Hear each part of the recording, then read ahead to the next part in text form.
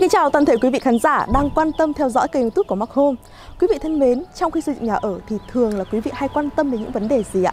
Về giá thành của nguyên vật liệu này, thời gian thi công này cũng như là tiến độ hoàn thành công trình đúng không ạ? Nhưng mà bên cạnh đó thì thường là cũng có rất là nhiều chủ đầu tư thường hay là bỏ qua một cái vấn đề cũng rất là quan trọng đó chính là giám sát thi công Vậy thì tại sao chúng ta cần phải giám sát thi công và điều đó thì mang lại những lợi ích gì?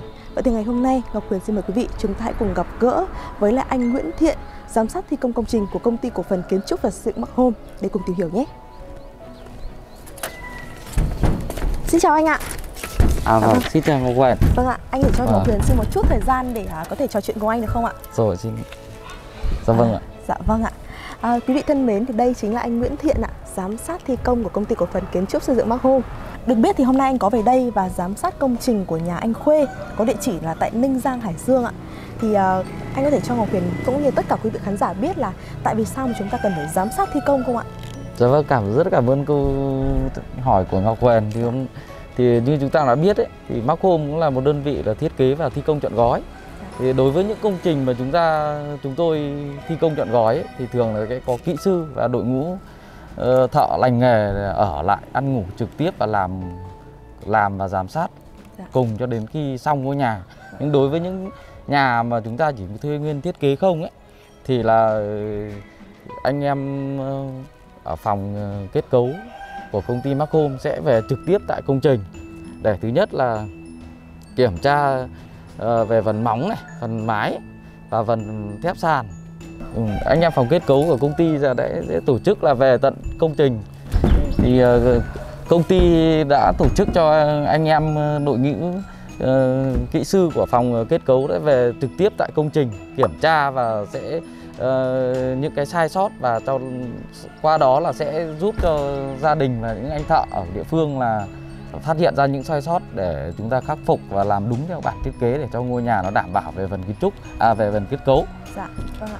Vậy thì à, trong khi mà à, các anh mà đi giám sát ấy, thì thường thường là sẽ giám sát chia thành mấy đợt ạ?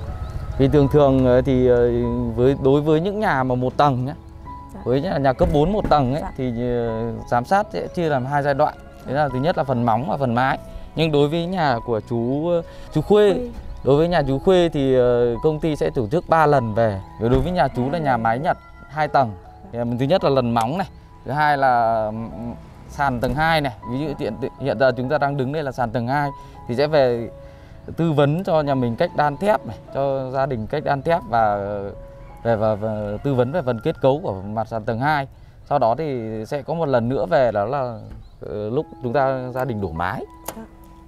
Thì hôm nay thì khi mà Huyền đến đây ạ, thì thấy anh rằng xem xét bản vẽ này cũng như là đo đạc rất là chi tiết.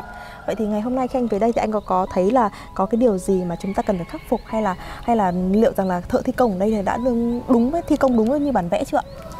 về cơ bản thì là đội ngũ thợ ở mà chúng ta thuê ở địa phương ấy Ừ. về trình độ người ta cũng có những cái rất là hạn chế không được như là những kỹ sư ờ, thợ lành nghề của công ty nhưng mà đa phần về với sự sự nhiệt tình của đội ngũ kỹ sư, cũng như là ờ, kiến trúc sư của Mark Home đã luôn luôn tận tình và đi sát cùng với công trình. Trong quá trình mà gia đình mà hoặc thợ mà không hiểu thì anh em đã tổ chức là gọi video và trong cái cuộc nhóm của nhóm Zalo làm việc đó thì đã đã chỉ bảo là sát sao. Về cụ thể hôm nay về thì gia đình nhà mình ờ, nhà chú Khuê đã rất là mong muốn tôi về đây để để trước khi là đã để sẵn thép đây rồi. Sau đó thì nhờ kỹ sư là tôi sẽ đã, đã cũng đã bàn bạc và đã nói chuyện với anh thợ cả là về phương pháp ờ, đan thép dầm mái và đan thép ờ, sàn. Thì là trong quá trình là hôm nay cũng buổi trưa thì là chiều thì thì thợ bắt đầu tiến hành theo đúng phương pháp mà tôi đã chỉ chỉ chỉ ra.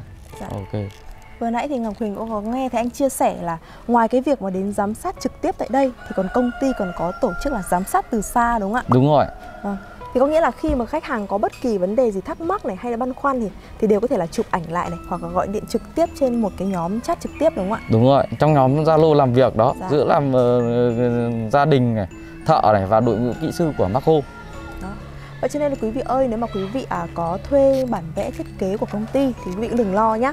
Chúng tôi thì sẽ có tổ chức là để cho các à, à, kiến trúc sư về trực tiếp để có thể giám sát công trình cũng như có thể là giám sát từ xa khi mà chúng ta cần thiết phải có một cái vấn đề rất là gấp gáp đúng không ạ? Đúng rồi. À, dạ vâng. À, xin cảm ơn anh thì ngày hôm nay thì đã đồng ý là đến tham dự cái chương trình này ạ. Dạ vâng vâng. Xin vâng, cảm và, ơn. Xin dạ. chào quý vị. Và Ngọc Huyền thì cũng uh, xin chúc cho anh là cũng và cũng hy vọng rằng là anh có thể là giám sát được nhiều công trình hơn nữa và đảm bảo chất lượng cho từng ngôi nhà, đặc biệt là các khách hàng của Mark Home ạ. Dạ vâng, xin cảm ơn ạ. À, dạ vâng, xin cảm ơn anh. Dạ. Quý vị thân mến và cuộc trò chuyện vừa rồi của Ngọc Huyền cũng như là anh Thiện thì cũng đã chính thức khép lại chương trình ngày hôm nay của chúng tôi. Còn nếu như quý vị có bất kỳ thắc mắc hay là băn khoăn à, hoặc là có thể là muốn à, cho công ty của chúng tôi giải đáp hoặc là nếu mà có nhu cầu thiết kế và thi công chọn gói cho ngôi nhà của mình thì có thể là gọi điện ngay đến số hotline của chúng tôi để nhận tư vấn sớm nhất quý vị nhé. Còn bây giờ thì xin chào tạm biệt và hẹn gặp lại. Xin chào.